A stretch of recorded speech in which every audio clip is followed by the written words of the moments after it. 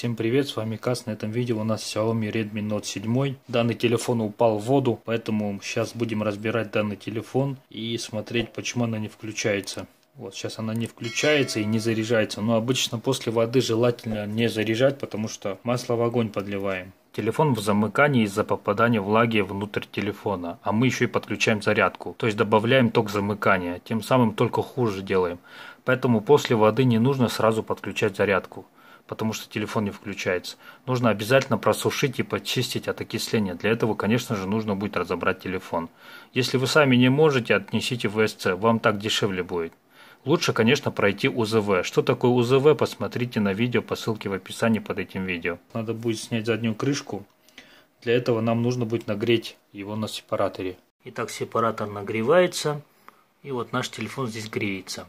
Итак, используем такой инструмент. Нужно немножечко здесь крышку поддеть. Вот. Теперь используем спирт. Макаем 3D пленку и пошло.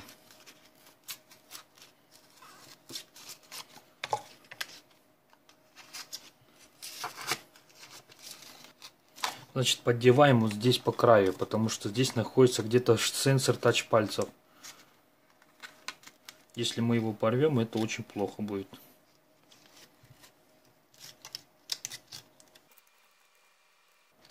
Итак, сейчас немножечко вот так вот отделили крышку.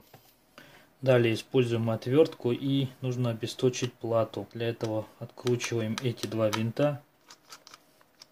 Так, здесь еще один винт. Откручиваем три винта и убираем данный экран, защитный экран. Далее отстегиваем шлейф аккумулятора. Все, плата обесточена. В этой части я бы сейчас отстегнул сенсор пальцев. Убираем каптоновый скотч, поднимаем за защелку и вынимаем оттуда шлейф. Во, вот крышку отделили сенсором пальцев. И вот у нас получается шлейф остался. Далее откручиваем все винты, которые мы видим здесь. Итак, здесь убираем тоже защитный экран, который идет со шлейфа дисплея. Отстегиваем шлейф дисплея. Отстегиваем межплатный шлейф. Итак, после того, как все винты открутили, снимаем нижний пластиковый блок с антенной. О, вот здесь окисление вижу. Прям вот, вот здесь посмотрите, какие-то пятна. Стегиваем межплатный шлейф. Да, здесь тоже окисление. На нижней части платы посмотрите, какие окисления. Вот здесь на шлейфе, вот здесь. Окисление и может быть причиной того, что телефон не включается и не заряжается. А теперь нам нужно отделить основную верхнюю плату от телефона. Нужно также глянуть на окисление.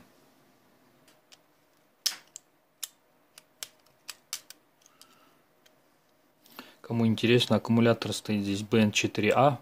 Итак, убираем шлифт сенсора тача пальцев.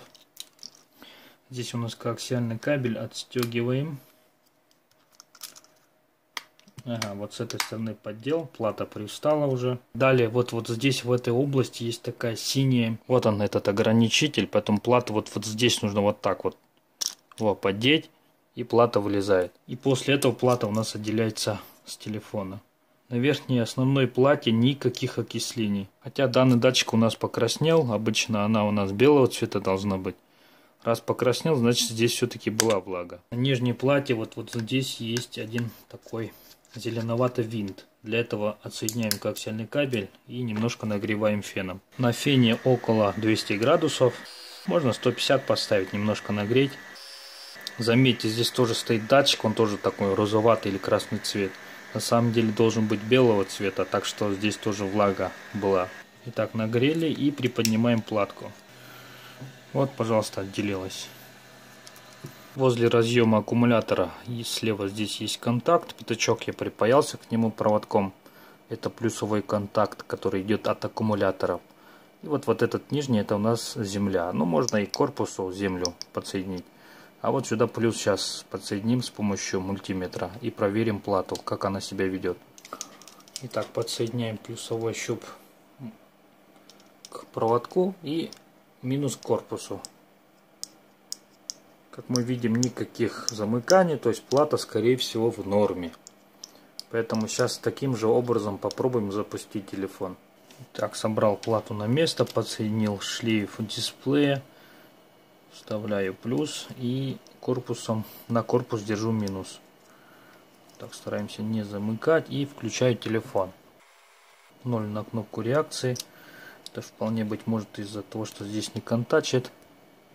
Она не хочет запускаться. Давайте попробуем с аккумулятора. Так как замыкания нет, быть может она запустится.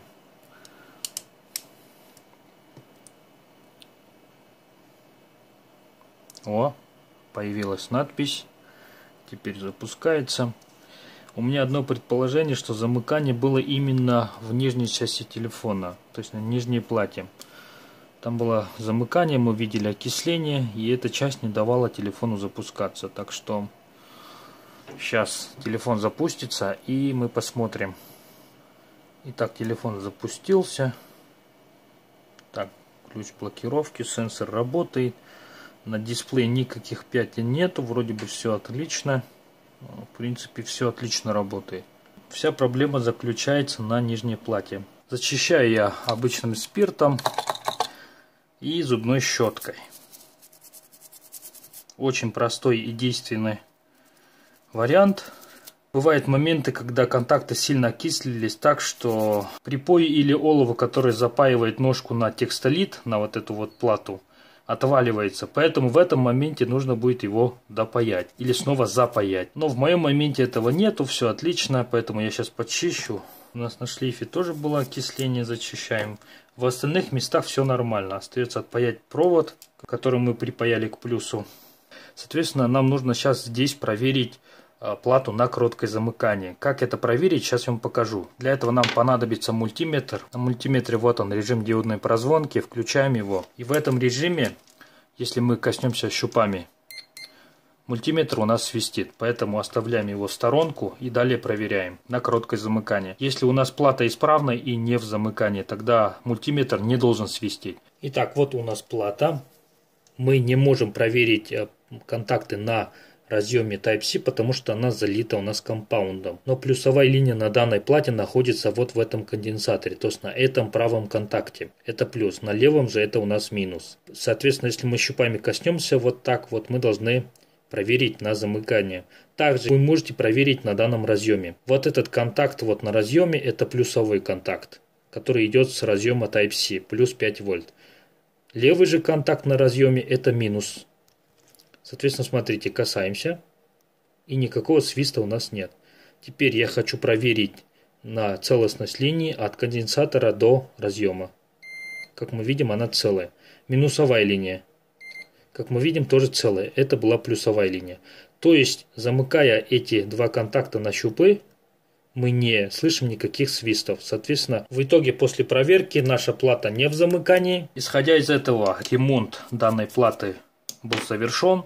Это и была вся проблема. Устанавливаем его сейчас на место и попробуем завести телефон. Также попробуем на зарядку.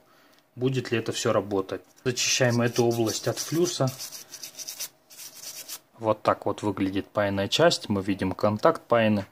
Поэтому подсоединяем сейчас аккумулятор. Он у нас заряженный. Подключаем шлейф межплатный. Вставляем антенный модуль или модуль динамика, так сказать. И вставляем верхнюю часть, верхний пластиковый кожух или защитка или экран. Нам нужно будет еще, то есть шлейф сенсора прикрепить. В общем, так должно быть. Теперь я, наверное, буду закручивать все винты. Когда будем закручивать винты, не забываем защитные экраны.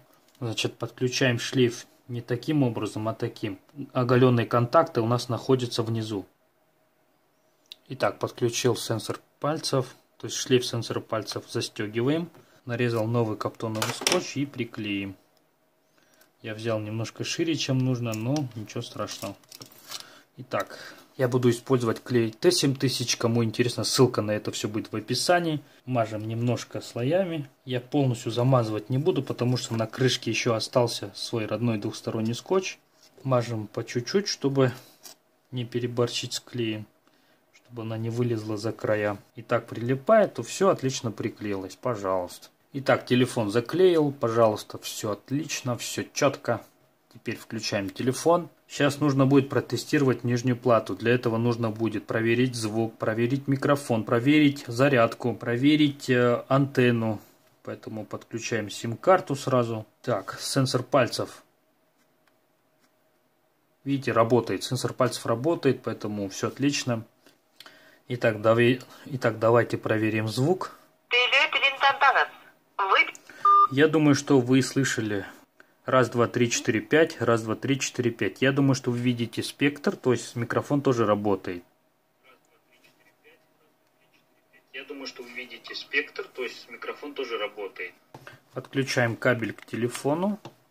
И теперь подключаем зарядному устройству. Как мы видим, здесь появился, появилась молния, и ток заряда у нас 1,9 ампер. Давайте подключим Quick Charge. 1,4. Почему-то здесь всегда меньше, чем в обычном. Не понимаю почему, но в общем так, зарядка работает. Инструменты, которые я использовал на данном видео, все будет доступно по ссылке в описании. Вот такой вот был ремонт, поэтому надеюсь данное видео вам понравилось. Ставьте лайки, подписывайтесь на мой канал. Всем пока!